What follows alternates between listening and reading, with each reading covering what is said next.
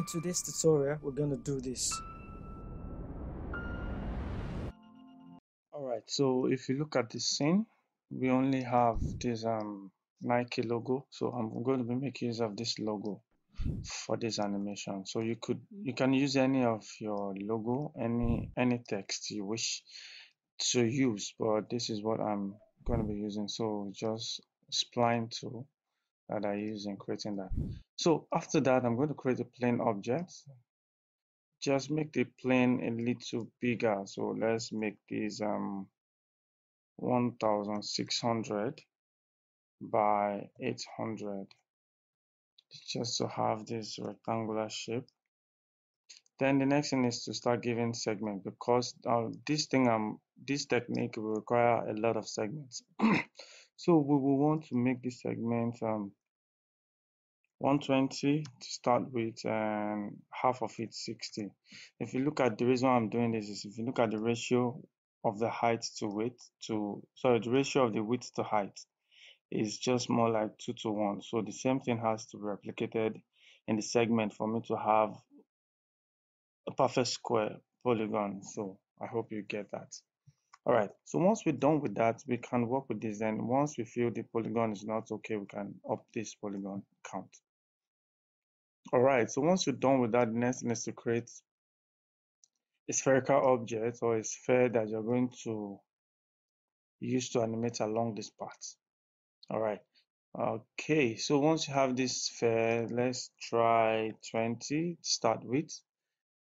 Then I am going to select the sphere click on the tag go to cinema 4d tag and align to spline. So I want to align this sphere to this spline then once I select this tag we are going to look into the spline path field. We drag the spline over to there. Then you have this. So we want to click on tangential so that as it moves the object also moves in line with it. So this is what we're going to be animating the position. That's what we're going to be animating.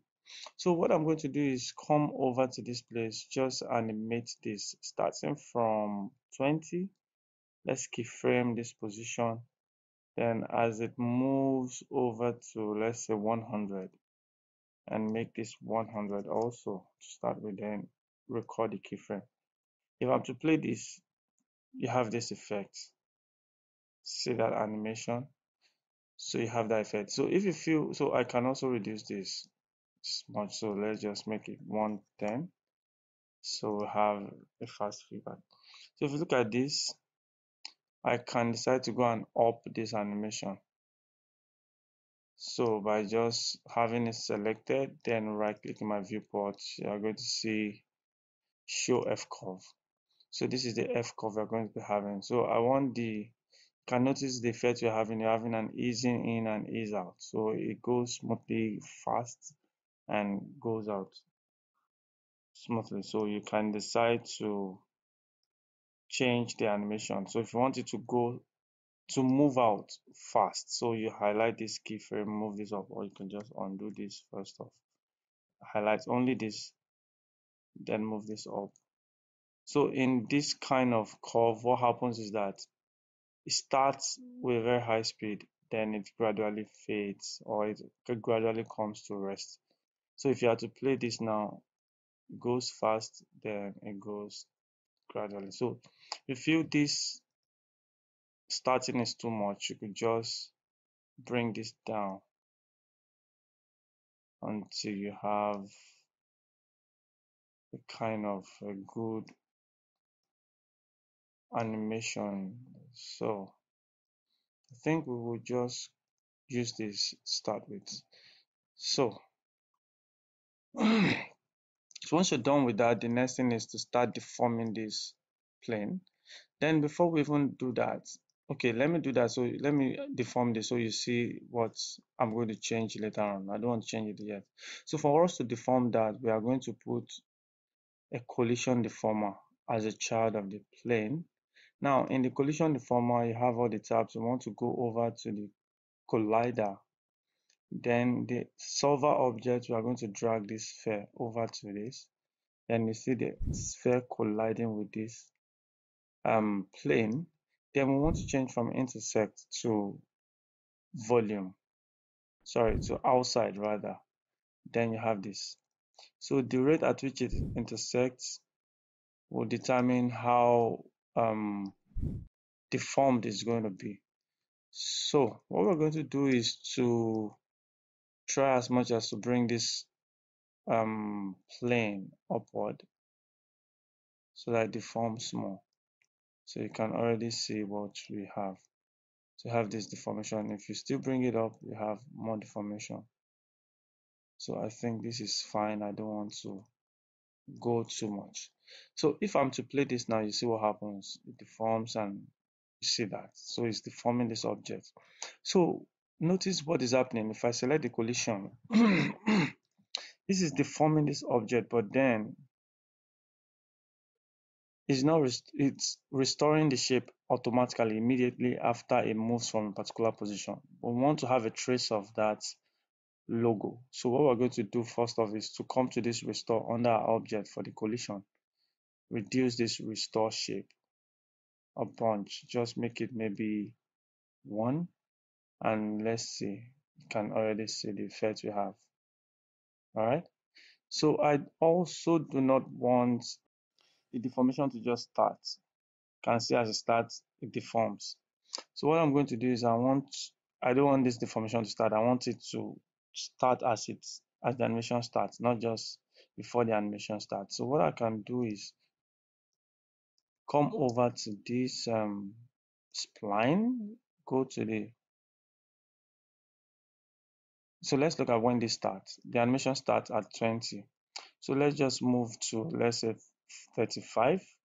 Let's keyframe the position of this spline here. So we want to keyframe the Y position. So we keyframe that. Then move to the 20 when it starts. I'm going to move this spline up such that it's not interacting with this plane. Then we'll keyframe that. So if you come back and see, you can notice that it doesn't have any deformation. Doesn't have any deformation at the start. So then if you play, then the deformation joins. So you can notice what's happening. So that means I need to bring this closer so that it's so we could also even bring this even closer so that we see the start of the logo. Yes, that is what I'm looking for. So another thing I also want to do is as this thing ends, I want it to also move up. So at this point, I will go to the spline, record the keyframe again, just bring this backwards a little, then just hold down control, drag this out. So just like coming down and also going back up. So if you are to play this now, you have this effect and it goes up. Get so so we can smoothen the movement upwards. So yes, that is more like it. So maybe we still bring this up a little bit. So it gradually goes up. So if I were to look at this, this is the effect we're going to have. All right. So, but the deformation is still not intense. So what we can do is to come over to the collision and go to the object tab of the collision and change this fall off to surface. That's the first thing. After changing the fall off to surface, the next thing is to start bringing this deformation If you notice this deformation, we can also start changing this deformation, bringing it even more.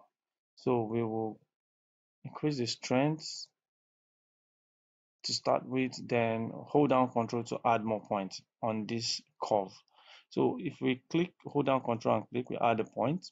Now this point is what will now create the curve for us, uh, as in the deformation, the curve we want on the deformation. So we can bring this up. If we bring this up, and hold down control click bring this down you can see what is happening to the shape here so you're bringing this up you have the deformation and bring this down such that we have this so what i'm trying to do is to set this curve I, how I want it to go. All right, so we have this. And the next thing I'm going to do is also, if you look at this um, deformation, just going, I want to add like a liquid effect as this thing moves out. So what we can do, I can still even bring this restore form to 0.2. so it doesn't restore automatically instantly.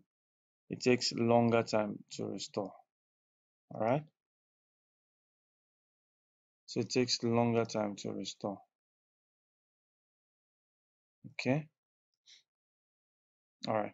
So another thing I can do is to go back to the sphere, maybe reduce this to 15. And let's see what we have. Okay. All right. So if you come to the plane, you can also add a jiggle deformer and bring the jiggle immediately under that you can already see the effect you're having. So you're having that liquid effect. So what I'm going to do is let's add more stiffness and see what we have. The stiffness is kind of too much. Bring this and reduce the strength. You can also add a form of drag to it.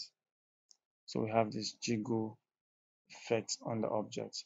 Then I'm going to smoothen the whole thing. So just come to smooth and bring this at the end of everything. So you can see the effect of the smooth is too much. So we can bring that strength down. So just smoothing just a tad, not too much. Okay. And the iteration might be too much. So let's bring this iteration down until we have a little bit of that. So you can see this. So now for you to have more detail on this um, mesh, what you can do is all those things, or you could just go back to the plane and add more subdivision. So if we make this 150 and this becomes 75, then you're going to have enough detail as this thing goes. You can see. So if you feel that you are still not seeing more, then let's up this to 200 by 100. So let's play this back. You're going to have more detail. So if you are losing detail, you can bring back the detail by just increasing the segments. But the thing with this is that the downside is it slows down the system. You have a longer time to render. but the purpose is for you to have this detail showing. So you might need to still go up. So let's say we go to 240 by 120 and come back. Can notice that my system is beginning to slow down. And but you're having more detail. So this is pretty much it, how you can make use of your deformer, your collision deformer to create detail, to create um, a ripple and water effects in creating your logo. So you can use it for typography, maybe you have text that you want to write. You can just create that and make use of this uh, align to spline and you can create whatever effects you want. So I think that's pretty much it. So if you feel you've learned something, please do give me a thumbs up and like for this. And also, I want to thank you guys for your support so far. I really appreciate you. I'm grateful for being in this community with me, and I've learned in this journey. I've learned a lot. So I want to say thank you guys. So don't forget also do subscribe to the channel for more tutorials and do have a wonderful day. God bless you. Bye.